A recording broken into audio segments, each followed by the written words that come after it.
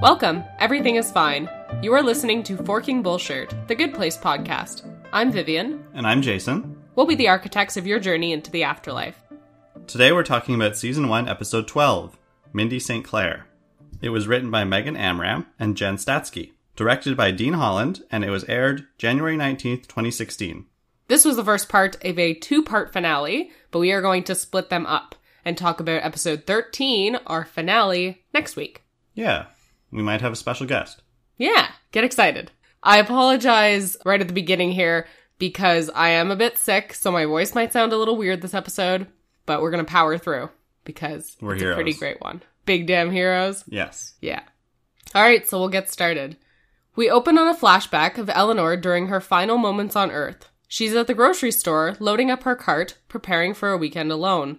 She kneels down in the parking lot to pick up an item when she spots a line of shopping carts coming right for her. We flash back to Eleanor, Jason, and Janet in the train on their way to the neutral zone. So I would watch a show just of Eleanor doing day to day things. what? Absolutely 100%. I would just sit down and watch a half hour show, hour show. Hell, I'd watch a movie of Eleanor just being jerks to people. I love it. Okay. So when she rams the card into the, the Walk Lululemon it off, lady. you Lululemon. it's great. I like this flashback. It's loaded with a lot of little details. So, for example, Frank Sinatra's My Way is playing during that flashback, and the clearest lines that you can hear are, And now the end is near, and so I face the final curtain.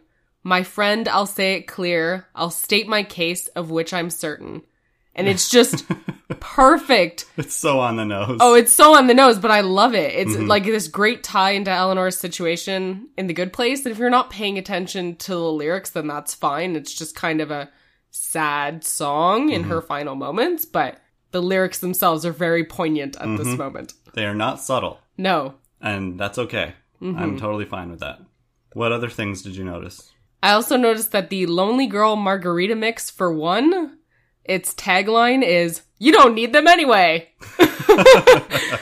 it's just perfect. I love when prop masters go above and beyond and just add more into it so that when you do look for stuff, like we do, It's there. it's there. There's something. Uh, she also bought lightly expired shrimp, which, of course, we know that she loves seafood in general. But right there, like, you're toying with death already, I would think. I don't know. I have not eaten expired seafood or seafood of any kind in like 14 years, so. That's a lot of shrimp, But- though. That ring of shrimp is huge. yes. That's like a party for 20. Mm-hmm. There's also a magazine right next to the one that she picks up with a photo of Tahani on the cover. And it says British socialite Tahani Al Jamil, not just Camilla's sister. I missed that. yeah, that that's a good one. And this is a subtle subtle reference here on the back cover of Celebrity Baby Plastic Surgery Disasters. There's an ad for a perfume called Glide by Dennis Feinstein. It's a very subtle Parks and Rec reference. So they're in the same universe. I guess so. I like that idea. Maybe if Eleanor had met Leslie Knope, she would be a better person because Leslie is pretty damn fantastic. Hmm. And Eleanor has that great line where she's like, "Oh, live every day like it's your last." Psh, bitch, I'm gonna live forever. You know, and of course she dies immediately. Yeah. Um, but I I stopped on that moment. I paused and I looked at her horoscope, and she is a Libra Yep. and her horoscope says, Think you are skating by without anyone noticing? Dream on. Your energy is too vibrant to remain unnoticed. With Mars and Saturn in alignment, it's time to live every day like it's your last. Lucky numbers 1, 23, 58. So the whole you think you're skating by without anyone noticing is perfect, Yeah. For her you know? time in the good place. Exactly. Everyone's noticing what you're doing. All of your actions are being counted. Um, and not only that, but the lucky numbers are actually the numbers of the Good Place neighborhood. Really? Yeah, so it's the Good Place neighborhood 12358.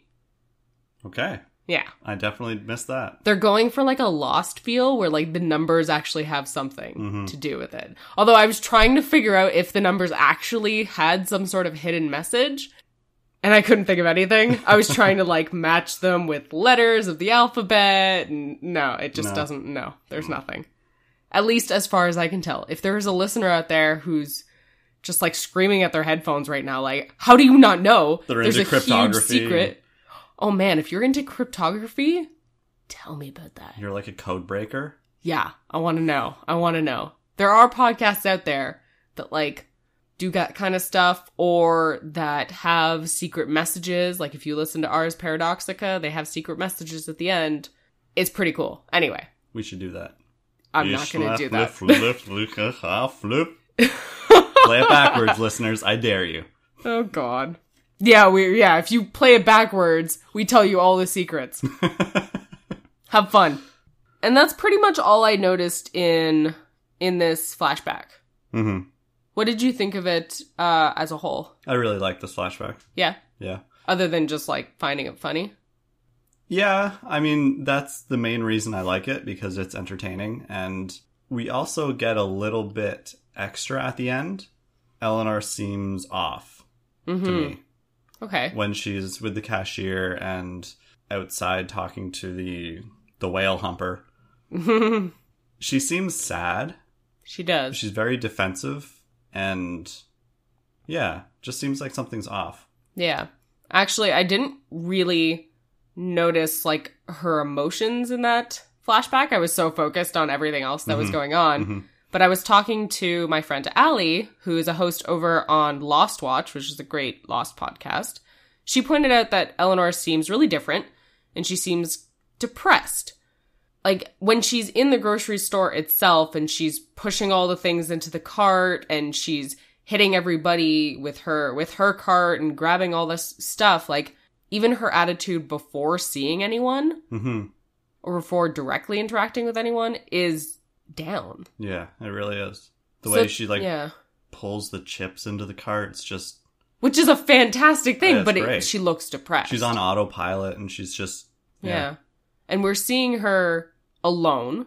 You're like fairly alone, right? When you're at the grocery store, you're not thinking, "Oh, this is a social No, interaction yeah, time." you're in your own zone for sure. yeah, and it's kind of I think the first time we really see her like that, and to see that she's kind of listless and unhappy hmm is telling.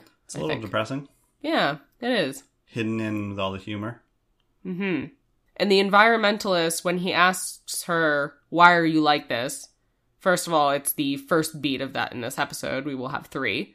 But it made me think that this is something that she's probably heard many, many times in her life. Oh yeah, And that's why she's so defensive. she like blows up on him. Oh, she really does. hmm Like, why am I like this? You don't know anything about me.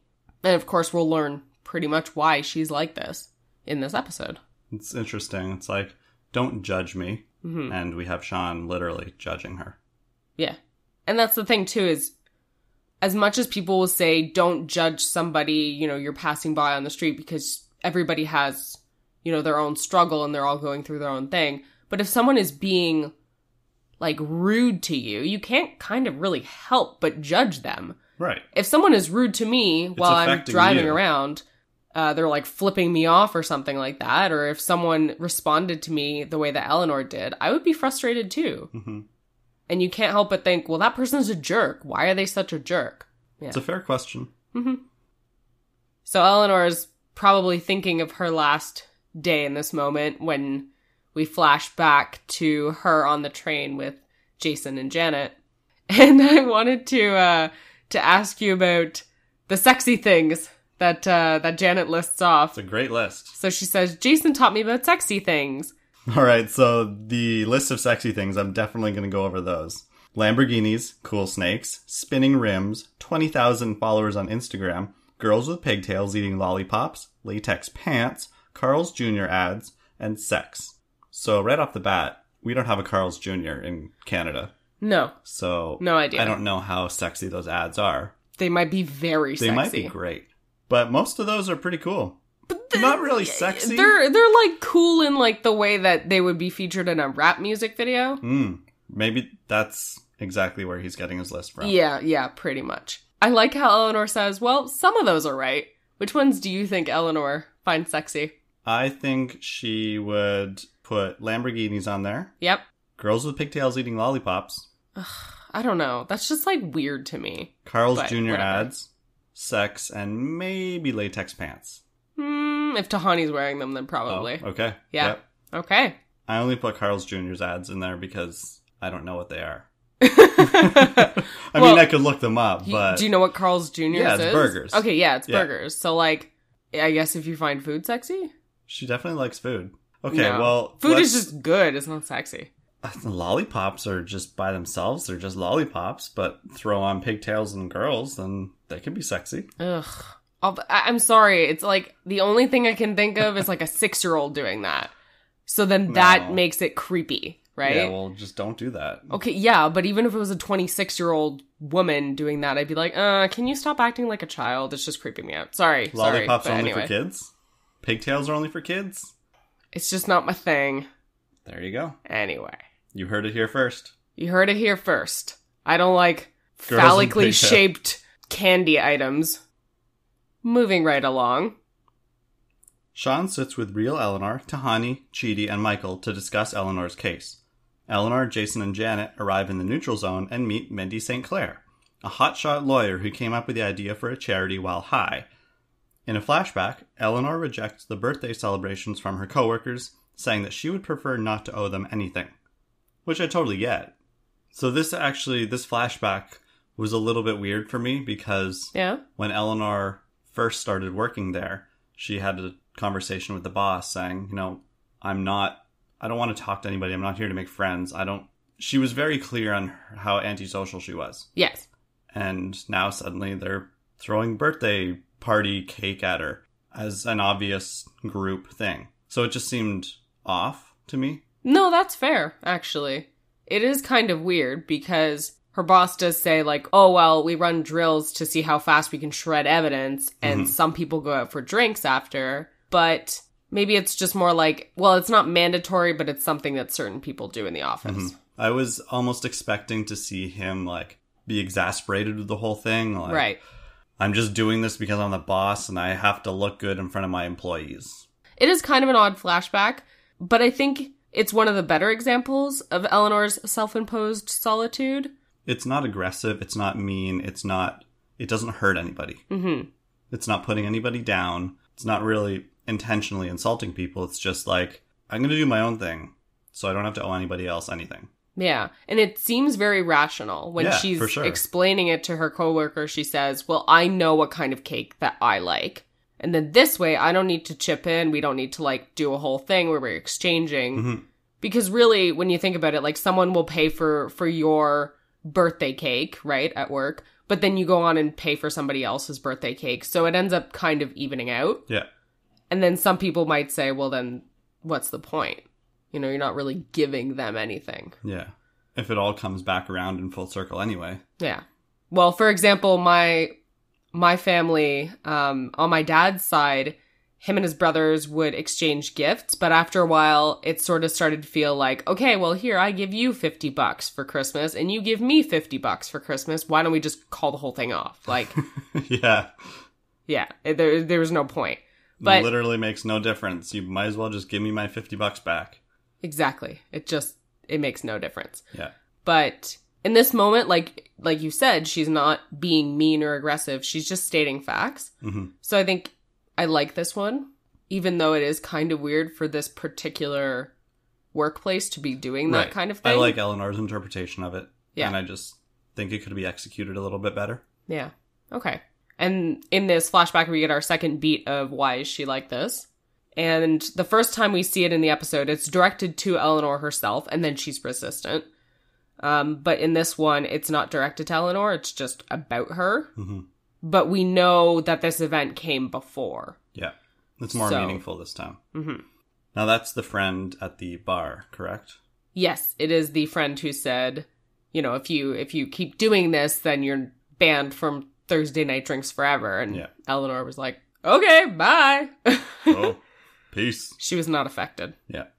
So back to uh, our time in the good place.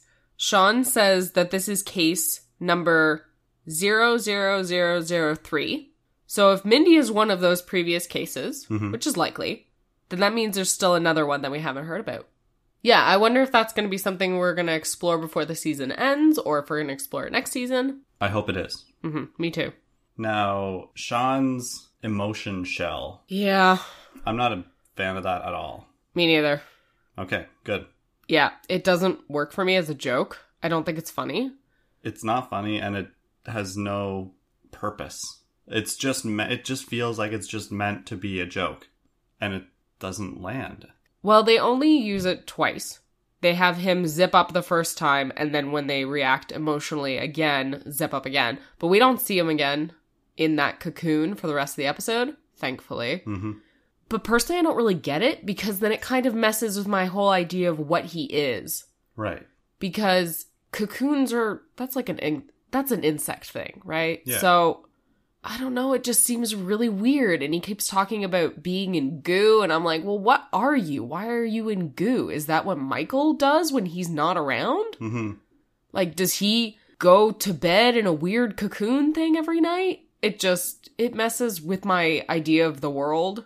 If it's not brought up and explained and talked about in the future, then it's a huge miss. Yeah, I think so too. Yeah, so maybe they're like crab people or like moth people or something. It's just weird. Yeah, and dumb. symbolically it doesn't do anything either because cocoons are generally meant to symbolize like growth or maturity Transformation. right Mhm. so this doesn't really work in this instance um i don't mind the joke that he is resistant to emotions Absolutely, for sure. that's totally fine with me it's just the effect like looking at it itself it just makes me think what is he like a buffy monster of the week or something? Mhm. this It just feels very out doesn't feel right. Yeah so not a big fan overall. And i thought it was a little weird that the bad place had the bad janet plead their case. I think it's possible that they just didn't want to have adam scott come in just to do like a couple minute thing. Hmm I think it's possible that they just wanted to use D'Arcy Carden because she was already in the episode. Well, we have Adam Scott in the video. Oh, that's true. He doesn't interact with anybody, so that could have been filmed like at another time if he wasn't available. Yes. So I, I guess I kind of get that, but you're right. It seems strange having Janet plead the case Yeah. because Unless they've wouldn't- kind of given up at that point and they're like, uh, just send Janet. We don't really care that much anymore. that's very possible. It's very possible, yeah. I, I love seeing Bad Janet because she's great, Oh, yeah. And I rule the fart inadmissible is pretty cute. and Michael just nodding like, "Thank you." Oh, that's, Oh, thank you, I thank you. it. I was worried that was really going to mess up our case. Yeah, that's a really convincing argument. Yes. Very. What did you think of Mindy? I don't really have many emotions for Mindy. She's, I don't know. She doesn't seem like she belongs in a medium place. No? To me, she seems Like a bad worse- place person? Yeah, like worse than Eleanor. I Yeah. mean, she did a great thing. Well, she came up with the She plans came up with for. the plans for it, Yeah. and I guess that's the main argument. hmm Should she get credit for coming up with the idea? Yeah, I am a little surprised that they had someone who is so obviously terrible Yeah, in the medium place. But I guess it goes to show that Mindy hasn't really changed. That even though she came up with this plan for a really great charity or foundation, whatever it is, she's still a that coquette. she's still, yeah, she's still incredibly selfish. Um, she's still rude and abrasive, and she hasn't grown at all in her afterlife hmm because even though she had that big epiphany when she was high as a kite and she did follow through with the plan the Mhm. following morning it's like that that mindy didn't stick around she reverted back to who she was before. Hmm because you would think that if that mindy uh, was still around that she would be kinder gentler with people that she would be more compassionate that she wouldn't be asking eleanor for coke every five seconds. Hmm but she's that person. That's who she is. Right. i mean she even tells eleanor there's no time for that morality nonsense sweetheart by the way the use of sweetheart is totally a bad person thing Yep. Pretty at least in this show. She says, This is about survival. You got to look out for number one. That's not a person who comes up with a charity. hmm That is the hotshot lawyer who's addicted to Coke. Yeah. You talk about growth, and that's interesting because it doesn't seem like that's something that people do in the afterlife. And because there's no reason to change who you are. If you're sent to the good place, you're just good. You're sent to the bad place, you're bad. There's no possibility, like, why would you need to grow? Why would you need to change? And Eleanor is the only example that we know of so far of somebody who's actually attempted to grow and attempted to change who they are only because she's put in a situation where she has to. Right. Yes, she's put under pressure, and that's exactly what you want to do when you're writing. Like, you want to put your protagonist under pressure Mhm. because that's what makes people change. Yeah. Yeah. And there's no reason for Mindy to change who she was because she she got the medium place. Yeah. She doesn't need to go anywhere else. She's totally content with being her crappy medium coked up self, watching Cannonball Run 2 over and over again. And not only that, but Mindy is living there on her own. So she's not influenced by anyone else, Mhm. right? Whereas Eleanor has Chidi to guide her through her Yes. her growth. But Mindy, I guess I get what you mean because Mindy, why would she grow? Yeah, she She's doesn't- not doing it for anyone else's benefit. And morality is generally how you should behave when and treat other people, right? Right. So, take people out of the equation. and if there's nobody to treat better or worse, then you just live your life You just as who you are. You know, I feel like maybe Mindy is like her the truest person here because she's not influenced by anybody. hmm She's just her. Yeah. She's the only one who's going to be around, so she can just do exactly what she wants to do. Interesting. Yeah. I'm not saying she's a good person, just maybe the truest. Right. It's possible. It's, it's something to think about anyway. So let's talk for a minute about the medium place and Mindy's house. Okay. a lot of the items that she's been given and adjustments that Trevor has made just seem really crappy. Like it doesn't seem like a medium place to me.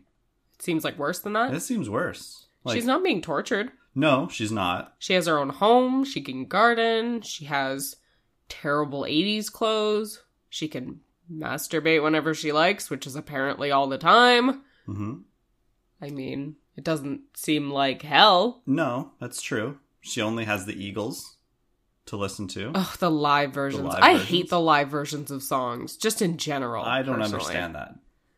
I like live versions I because it captures the feeling of the crowd and the energy that the band is putting into their performance. Yeah, but it always sounds a little off. Yes, it does. And that's what it bugs me. Hmm. It's because I know the song, how it's supposed to be sung and everything. And then if I hear it live, it's just like, oh, Some people would There's just something weird about it. version of the song oh, okay. Okay. because it's being performed in front of people and without any editing and effects, and it's just them. Yeah, I don't know. I'm going to be a real crank about it. Sorry, I just don't like live versions. That's fair. Yep. I guess the part to me that seems most like the medium place is closer to the bad side is that she's alone. hmm I think if I had to live for 30 years, even if it's just your afterlife, which 30 years in the span of eternity is minuscule, right? Right. It's still so much time alone. I would get very lonely. I am definitely an introvert. I like my time to myself. I like to do my own thing. But if I was alone that long, I would definitely be insane. hmm Like, And I like that Eleanor asks that, and that's addressed. Like, don't aren't you lonely? yeah. She's And like, she just nope, I'm good. yeah, don't you want company? Like, after 30 years of not seeing anyone? No, I'm good. Okay. All right, That is a weird reaction to have. okie dokie. you do you, girl. I guess, yeah. All right, we'll continue. Sean listens to the monotone arguments of Eleanor's friends, and Michael then reviews the memories of fake Eleanor with the group. I like Tahani's description. Kristen Stewart on the red carpet level of emotionless. Pretty fantastic. I mean, that's good. That's good. No Yeah. hate on Kristen Stewart, but she's just got that very blank face. Yep, Yeah. which works for her. Yeah. It's her aesthetic, I guess. It's her vibe. We know what we're going to get from Kristen Stewart, and it's not going to be a lot of excitement. That's okay, though. Yeah, it's predictable. Yeah. But a good way, not like a bad thing. Be yourself, K Stew. That is definitely not the episode title. no. Be yourself, K Stew. No, definitely not. Um, I did notice Eleanor's date of birth. So we finally find out her age. Mm hmm She was born September 14th, 1982. So she died at the age of 34. Okay. Mm-hmm. I was starting to wonder because the cake that we see in one of those fla- flashbacks had the number 29 on it. And I thought, oh, did she really die before she was 30? Is that possible? But no, it's, uh, it's a few years after that. Yeah, so we get a few snippets of. I guess we're going backwards in time from the moment of her death at the beginning, Yes. going back to what Oh, we yeah. see later on in the episode. Yeah. Counterclockwise. Yes. backwards chronologically, whatever. That- I don't know. yeah. Yeah.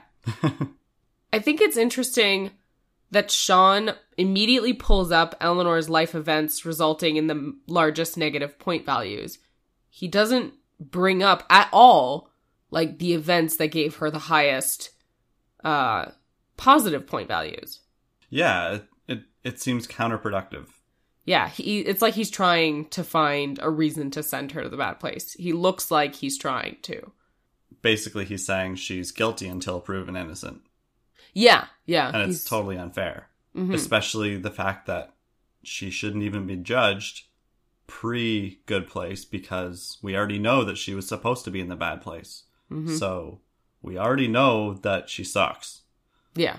So why are we not looking at her actions in the good place? Because that's what we're judging her on. Yeah. And that's what everyone's arguing is that she's changed now that she's been here. But he kind of just rejects that entire argument. Right. So when you think about it, there's no point, right? Like it feels like all of their efforts have been totally futile. Right from the start. Yeah. It's like he already knows the verdict. Exactly. Chidi says that she's grown so much and it's been real self improvement. Um, and he says, you know, I was, I made the decision to help Eleanor that first week and I'm glad I did it because she's worth it. hmm But the only reason that she was worth it is because she made progress here, Yeah, right? she made an effort. hmm But Sean's just rejecting that argument entirely. He's saying, no, it's just what happened on Earth. Too bad. Yeah. I mean, some of those events were pretty terrible. I mean, were they though? Like, not all of them were that bad Um, compared to like things that bad. they could be. oh yeah, she didn't kill people. She didn't run over people with her car or like set houses on fire. Or, Okay, are you just thinking of the leftovers now? Because those are all things that happen. or you know, like knocking kids over and drowning babies or being abusive to animals. Like, no, no, but that would have sent her like immediately into the bad place, right? Her score would have been way lower than negative 4,000 and something. Sure, but it doesn't matter. The Yeah. score doesn't matter as long as you pass that threshold. It could be one point under or like a million points under. That's true. That's true. It's very and binary. That's, that's not great. hmm It's what we've been arguing this whole season, Exactly. basically. And that's what Eleanor's been fighting for as well. hmm There should be a medium place. Yes. And Eleanor, you made it. You got there, girl. You got there. Might not be as great as you thought it would be, though. Chidi morphs his face into the most unbelievable, shocked frown that I've ever seen. It's like a bemused, oh my god, am I watching something real? Like, this did not just happen. It's like watching a really funny train wreck. yeah, where nobody gets hurt, yeah. but for some reason it's hilarious. Oh my gosh. William Jackson Harper's face just distracts me every time I'm watching that scene because it's so good. hmm Like, his, his face is just so funny. It's very elastic in that moment. Like, I can't get over how comical the upside down frown is. Like, It's perfect. it's just so U shaped. like, Good job on your face, William. Yeah. I like that Eleanor brings photos with her to the medium place. She brings one of Jason and Tahani and she puts that on a shelf. And then she bring, brings one of Chidi. And I like that she puts it right in front of her. She's reading and she's got her little stack of books. And she brought with her, her professor's there with her. Oh, that's so sad because in her mind, she may never see him again. And it's Yeah. just, I'm, ah, I have feelings about it. Anyway, she brought What We Owe to Each Other, Natural Goodness, Groundwork on the Metaphysics of Morals, and Nicomachean Ethics. So she brought books that we've touched on in this podcast. And it's nice to see that she brings them along with her because that means that she's not done Right. she doesn't think of herself as done, right? So this is her first moment of kind of relaxation in the medium place, and that's what she chooses to do. I think that says a lot Yeah. of who she has become. And she misses Chidi. And she misses him. And it reminds her of him and Very class. sweet. He's reading a book in the picture, and I'm trying to imagine, like, when did Eleanor take this photo? Was he just like so engrossed in the book, and then she thought, maybe I'll need a picture? Or she was like, he looks so cute reading. I'll take a picture. I'm gonna assume it's the last one. Don't tell me otherwise. or she just said, Janet, take a picture of Chidi now. Oh. And then Janet snaps a shot and gives her a printout. Where does the print come out? Is it like a Polaroid out of her mouth? Maybe. I was thinking it's unfortunate that Eleanor didn't catch him at that moment, just like coming out of the shower. She's like, Janet, I don't know where Chidi is, but can you take a picture of him w- with whatever he's doing right now? And it's just him coming out of like a steamy shower Maybe with a towel wrapped knows around that him. he's surprisingly jacked. Maybe. Oh God, Eleanor, don't spy on him. Anyway, I was thinking it was like the uh the Old Spice commercials, but Chidi Mhm, instead of, the other guy. Yeah. Too bad. Too bad. Anyway, it's him in his natural habitat. I think it's very cute. This discussion is getting uh, dangerously into the sexy zone. oh God. Okay. Good point. Um. so after we watched the informational VHS on why Mindy was put in the medium place instead, That really reminded me of an orientation video from Lost. When Mindy is telling Eleanor that the two sides were fighting over her for a really long time, I started thinking, oh, where have I, like, where have I heard this story before? Because I know there's a story and I couldn't tell, I couldn't remember if it was like a biblical story or just something I'd seen in a movie hmm where heaven and hell are fighting over a soul. And so I asked Alan, who is uh, one of the hosts of Shadows and Shamblers, an American Gods podcast, I asked him because he's fairly well versed in religious studies. And he told me it was the book of Job that I was thinking of.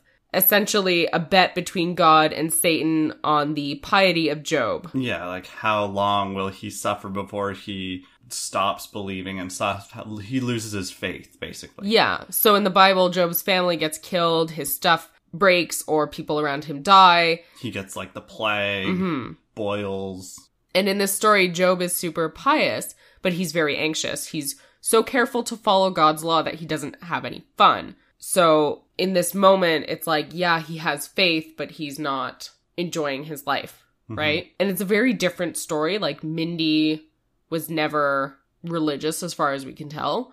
But I don't know, the whole the the idea of like two sides fighting over somebody, it's interesting. I see it a little differently. Okay. I don't see the good place fighting over her. Okay. I see the bad place wanting her and the good place only wanting her so she doesn't go to the bad place or only so the bad place doesn't get her. I don't think the good place agrees that she belongs in the good place. Okay. I think they just think that she doesn't belong in the bad place. So they don't actively want her in the good place. They just don't want her to go to the bad place. It Okay. sounds a little convoluted, Yeah, it's But- like I don't want you to be tormented for all of eternity. but I don't think you belong in our place. Yeah. So we have to make an exception to our system. Right. To me, she seems worse than Eleanor. I agree. I think she's worse than Eleanor.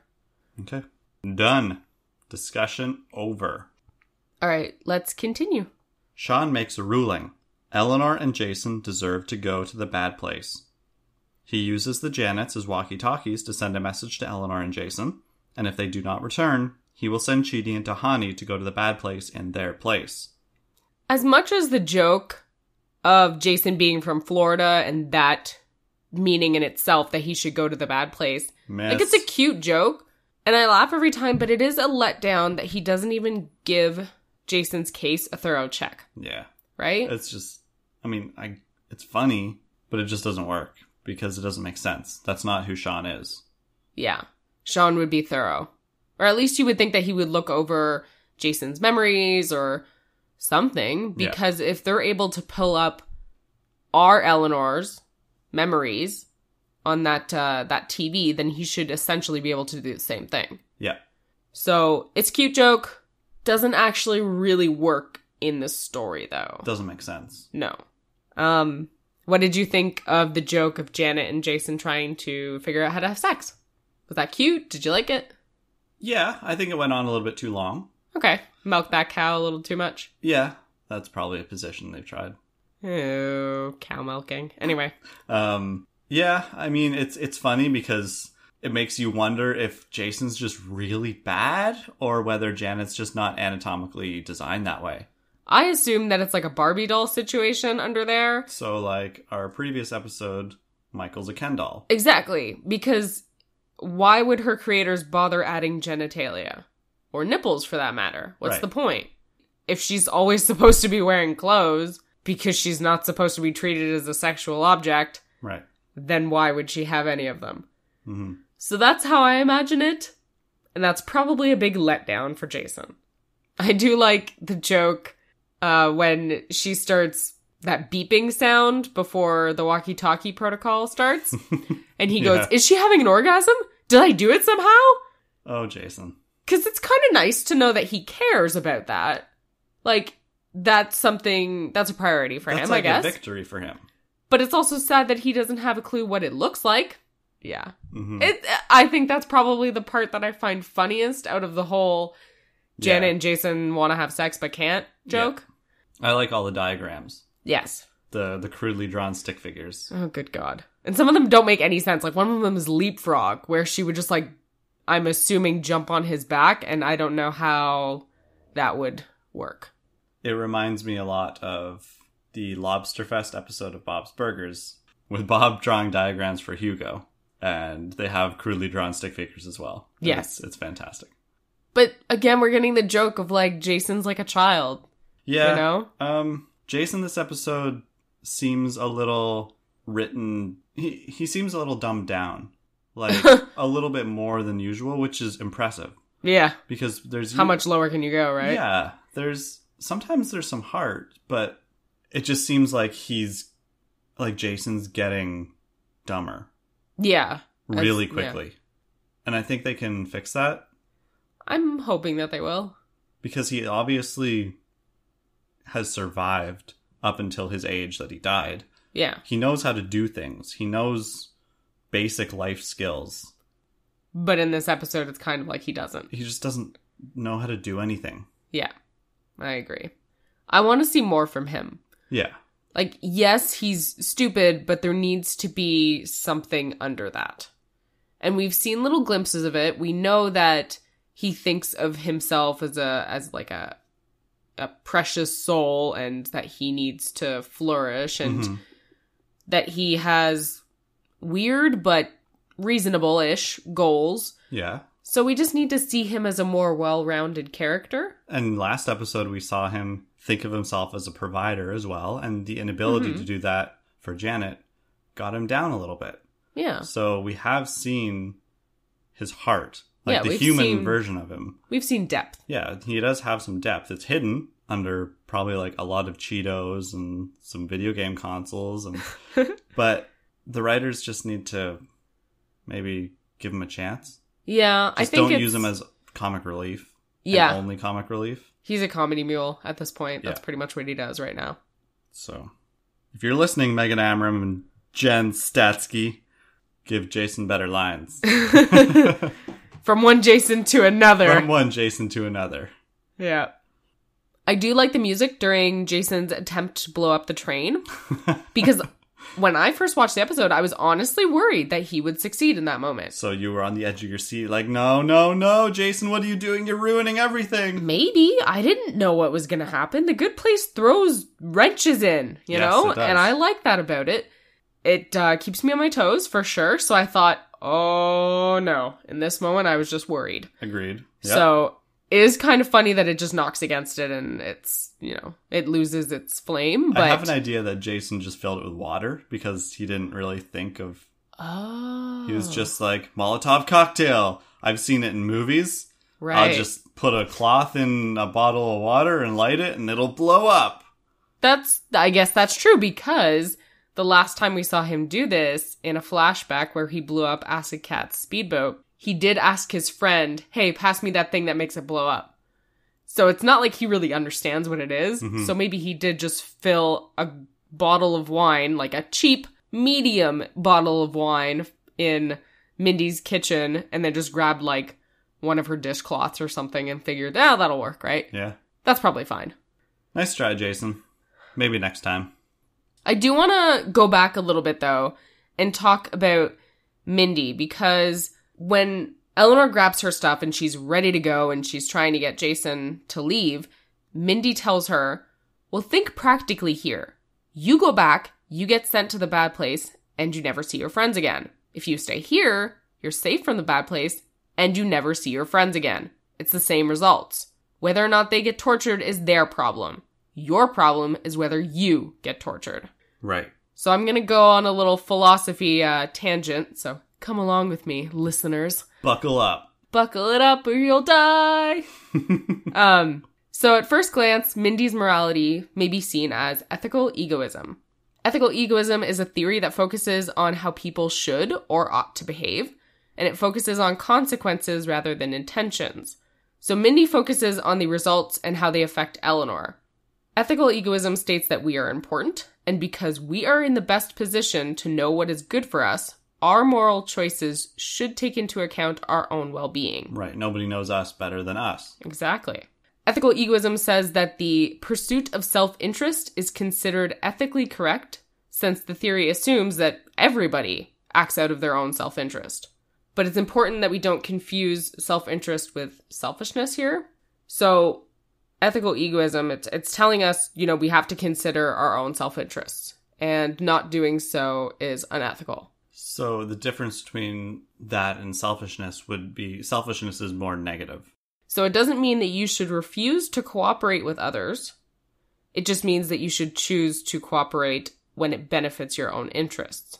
So a lot of people have the misconception that ethical egoism means that you should just do whatever you want whenever you want, regardless of how it will treat other people. Basically, that you should act selfish, right? Mhm. But that's not really what it is. Because you're still ethical egoism is you're still helping people, but only when it benefits yourself. Yeah, exactly. So you can still do ethical things. hmm Yes, in a video I was watching, uh, the the speaker used this example. He said, "All right, so little Timmy is going over to John's house to go play.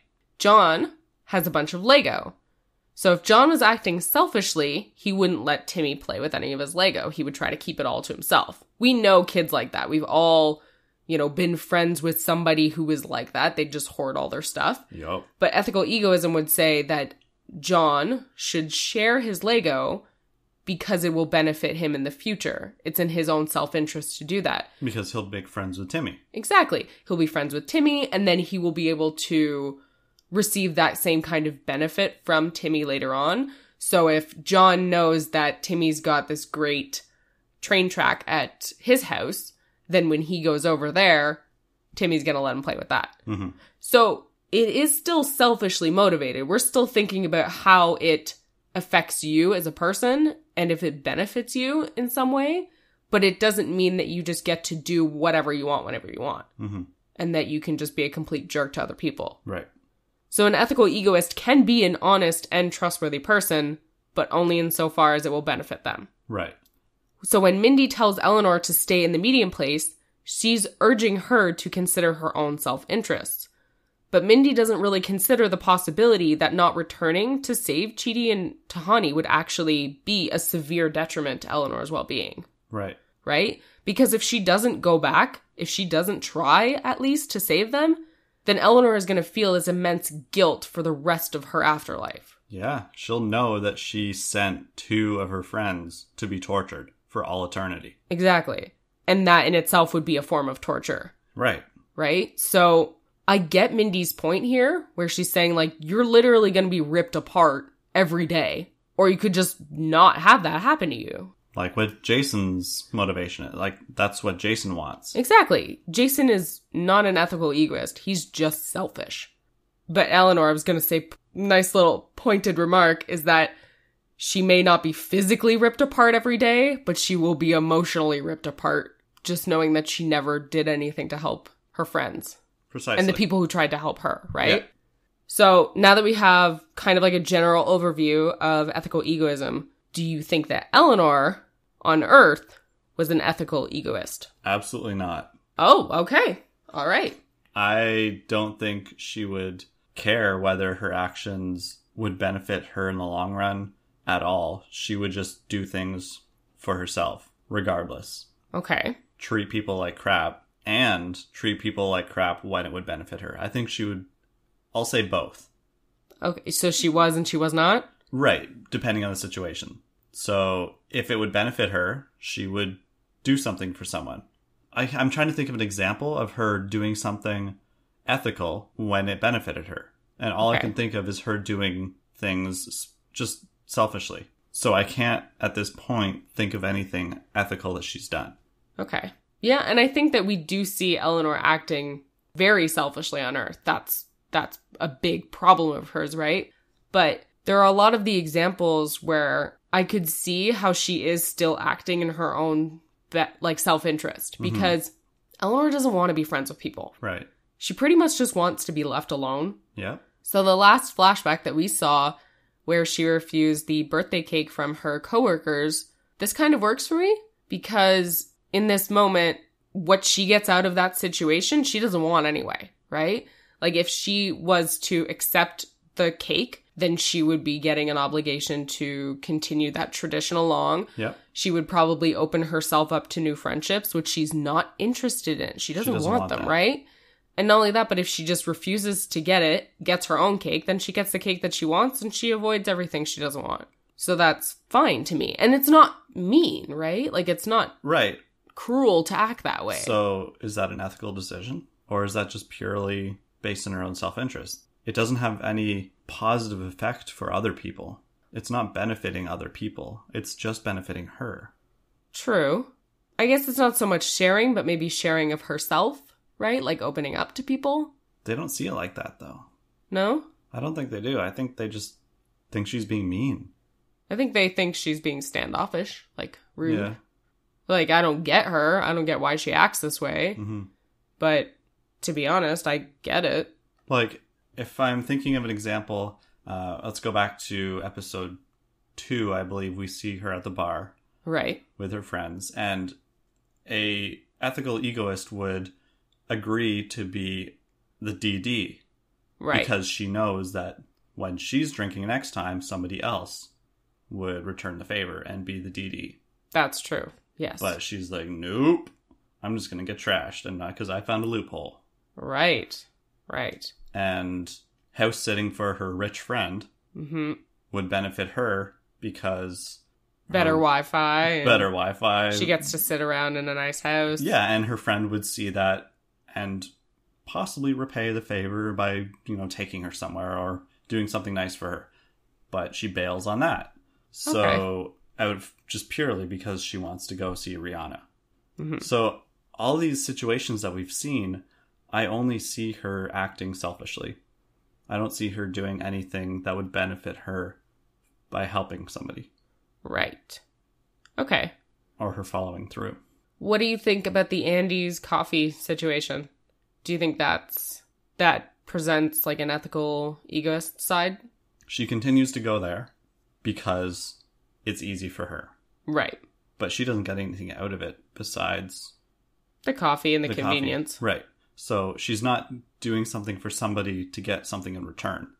No, and I'm not saying that that's the only reason you can act as an as a ethical egoist, right? Mhm. Like you're acting in your own self-interest. Yeah. So in this moment, uh because Eleanor will not be affected by the sexual harassment or the potential scorpions, I guess, in the coffee, then really the detriment to her would be negligible. So that's, I think, why she chooses to continue going. Because it doesn't affect her.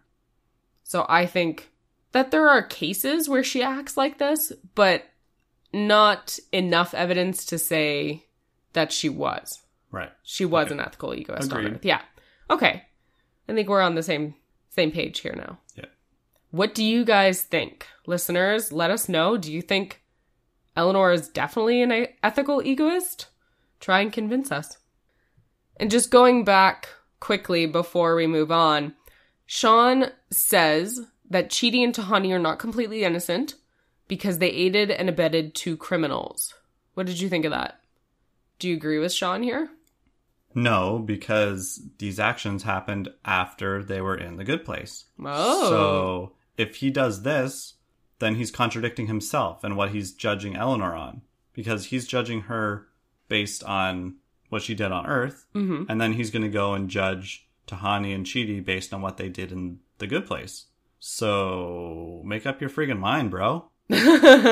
Come on, Shawn. That was so eloquently said. I love it. Yeah, well, you know, I got my scripts from the J Dog. Oh my god. um, no, yeah, I agree with you. Actually, I didn't think about that at all, but that's completely unfair. hmm Yeah, if you're gonna judge someone for what they did on Earth, then you gotta, you have to use that same Be metric for everyone else. Yeah.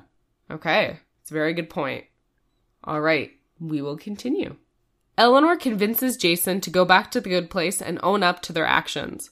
In a flashback, Eleanor emancipates herself from her parents. Eleanor and Jason arrive, but miss the deadline by a few moments. Shawn says the bad place is owed two people, and he gives the four of them the task of choosing which two. What? Yeah, that's uh that's quite the ending. Yeah, it's uh, it's a great ending. It is a really great ending. I did not expect that. It's a good thing that this is a two-parter because that would have been quite the cliffhanger for a week. Yeah, I'm really glad they didn't do that. I'm sorry that we're doing that. if it was lost, it'd be It's like gonna a be worth it. three-month break. Oh my gosh. So on the train, while Eleanor and Jason are having their little heart to heart, this is our third beat of why are you like that? And in this moment, we get Eleanor actually opening up about it. hmm She's not defensive. It's not someone talking behind her back. It's Jason finally asking her and actually wanting an answer. Yeah, he's not like, why are you like that? God, you're so terrible. Like it's genuine. Why Yeah. are you like that? Like, what happened to you? Yeah, there must Who be a hurt reason. You. Oh, who hurt you? Who hurt you? It seemed very Matilda. Oh, yeah. Like, I believe that's very similar to like the end scene of Matilda when she signs the adoption papers away. hmm Except Eleanor's future is much more lonely. Yes. She doesn't trade one caregiver for another. No. She just, But I think doesn't she's have one. happier. Like she's much happier doing this. I don't think she is. The scene we get with her sitting in her new apartment, eating her birthday cake alone, she's looking around, but she doesn't look happy to me. I see. I got like I finally did it. Like I'm finally free. And, you know, I got that feeling like of I'm I'm free of them. I don't have to worry about them, hmm but also kind of a what now? Yeah. No. I. Yeah. You're right. you know? So we've talked about this a little bit in the spoiler zone before, but now we know that Eleanor has been living on her own since she was very young, likely 13 or 14, Yeah. thinking probably closer to 13. And she's made a fairly good life for herself. I mean, she finished school, she went to college, she got a job without any support. Objectively, she is successful with what she does. Yes. Education, work, roof over her head, food, all this stuff. Yeah, without any support. Yeah. Like, she's a resilient person. She has initiative. And it's just, I feel like it's just that she never had anyone to really care about her. So she developed this shell, She you know, became cold. And distant to people. Yeah. And use this attitude throughout her whole life of, well, if I don't give anyone anything, that they don't owe me anything, and then we're even. Right. It's not a great way to see life, but I think this is a really great reveal of her past.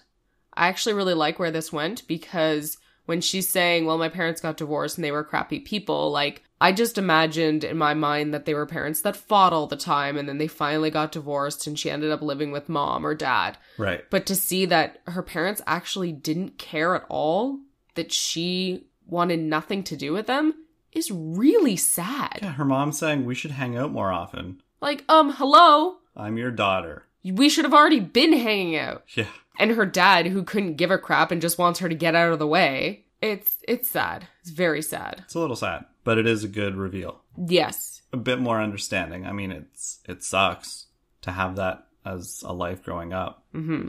And she says here in this moment, I've been using their crappy parenting as an excuse for my selfish behavior all my life. No more. I freaking cheer every time I see that part because that's it. Like, no more excuses. I have to be better and I'm gonna make myself better. Yeah. And honestly, if she was able to have the life she had on Earth and be able to take care of herself, she can definitely do this. I 100% believe in her. What do you think about Shawn's decision to hand over his power to them and say, hey, you decide? It's funny to me because he's the judge, the end all decision maker, Yeah. and he's frustrated. He's it's like he's letting emotion get in the way of his own judgment. I don't know. He, I, like, I, I sense a little bit of frustration there, but he says, well, what should I do? I set, you know, I set a timer, but then they didn't make that. So what should I do now? They're all still here. So should it, it doesn't make sense for me to stick with my original, uh, plan or should I deviate from that plan? hmm I don't know. It seems like, like he's trying to find a logical way around this, Yeah. but I think he should still be the one making the decision. Yeah. Yeah. Yeah.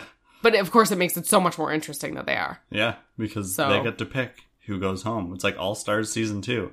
Who gets voted off at each week? Yeah, he's referencing drags drag race, by the way, which would that was such a huge twist too, right? RuPaul is always the one kicking a queen off, right? And then they have to decide, okay, how do I be diplomatic about this? Because some of these other drag queens are my friends, or maybe I should vote off the person who's my biggest threat. Maybe I should just think about how that person did in this particular challenge and not how they were two, three weeks ago, right? So it's quite the uh quite the power and not exactly a gift. And it's it's a heavy burden. Oh yeah. That's like the heaviest thing you're gonna have to do. Mm-hmm. It's like deciding. Well, you're deciding the fate of two of your friends. Right. So these four are obviously the closest at this point. Mm-hmm. They're a team right now. Yeah, they are. All right. Well, I don't have pretty much any spoilers for this week because we only have one episode left, Yeah, we're gonna skip spoiler section this week. which is kind of sad. It's our first time without the spoiler zone song. You can still sing it. Spoiler zone, spoiler zone, spoiling everything, spoiling movies, spoiling food. There's no spoiler zone. Oh, sorry guys. Hey, the people that never listened to the spoiler zone, this is the first time hearing that. yeah. I hope you enjoyed it. It was a little less enthusiastic. I'm sorry. Yeah, I'm still little- sick. It was a little morose. So, and we're we're just you know a little sad that the the show is ending at the moment. next week's our last episode, so yeah. until season two comes along. Hmm. And next episode will be good. We'll uh, we'll discuss where we think the show is going to go. Yep. And it's your last chance at this point um, to get in your listener feedback. So if you have questions about uh, anything that's happened this season, honestly, You should let us know quickly because we are actually recording on Sunday. yes, So get in those questions, get in like your thoughts. days. Tell us what you thought of the finale. Now we can finally talk about it. Tell us, what did you think? You know, did you enjoy this finale? Was it kind of a letdown? Was it amazing and you love it to death? Were you spoiled by it by a friend or Yeah. the internet and did it Mhm. totally bum you out? Yeah. Yeah. So, anyway, That brings us to the end of Forkin' Bullshirt, a multiverse radio production. If you like our show, please leave a rating and a review on iTunes. This is the best way for others to find the show. And we're hoping to get more and more listeners as the show will go on a hiatus between our final episode for season one and the beginning of season two. which is September or October? Um, not sure. I don't think they've announced a specific Okay. date at this point. And like we said, if you have any thoughts you'd like to share, you can find us on Twitter at Multiverse Radio and use the hashtag FBullshirt or find us on Facebook at Multiverse Radio Podcast. And as always, you can send us an email or visit our website, multiverseradio.ca. So we'll see you next week for our final episode of season one our review of episode 13, Michael's Gambit, with our special guest. Ooh. So there'll be three of us here. Well, in Be spirit. fun. Yeah, in spirit, you know. Yeah. But that's fine. It'll be exciting. It'll be very exciting. I'm looking forward to it. Mm-hmm. And you should be too. All right, thank you so much for listening, guys. I'm Vivienne. And I'm Vivienne. No, you're not. There can only be one. I'm Jason. and this has been Forkin' Bullshirt. A very subtle Parks and reference. Parks and Rec. It's a very subtle Parks and Rec reference. Girls with pigtail pig there. Girls Pigtails. I love me some pigtails. Ooh, Okay. yeah. Girls with pigtails pigs oh my god I can't do this properly. I know I can't do it right. Okay, hold on.